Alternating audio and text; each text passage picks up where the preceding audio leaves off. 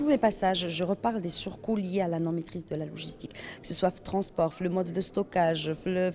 la, réflexion SCM, tout ce, que, tout ce que nous consommons, il est pratiquement à 15% plus cher que prévu qui en fait ne doit pas excéder 15 à 16 %. En Algérie, nous sommes autour de 35-40 donc de coûts logistiques, ce qui euh, ce qui est excessif, ce qui en fait, c'est malheureux d'arriver à ces, à, ces, euh, à, ces, à ces coûts qui ne sont pas admis universellement. Donc euh, non, il va falloir corriger cette logistique.